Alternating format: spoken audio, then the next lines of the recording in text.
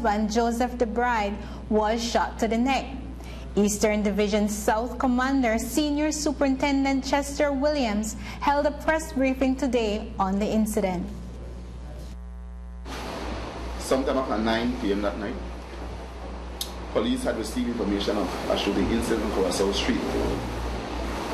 They subsequently visited the KHMH where they saw Mr. DeBride suffering from apparent gunshot wound to the neck.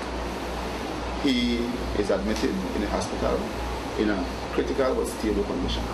Sir, we have received report that he got shot while trying to protect or save the female who, who he was with his girlfriend, presumably. Have you all, do you all have any account such as that?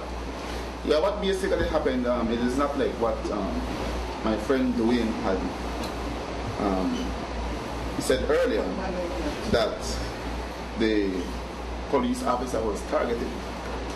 It was not a case where the police was targeted, but what happened? A police officer, a female police officer, was socializing on um, Street along with her boyfriend when a male person came who said that he had a firearm on him. Well, the police officer, being the person she is, she's a very active and energetic police officer. She tried to apprehend the person with the firearm and they got into a struggle. Her boyfriend came to assist her and uh, in that process the person got away and whilst he was leaving he took out the firearm and fired shots at them, hitting DeBride in the neck. Oh, um, so you all have a known suspect? Yes, the suspect is in custody as we speak.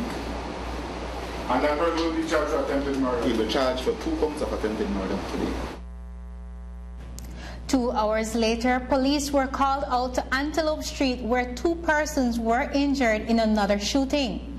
Around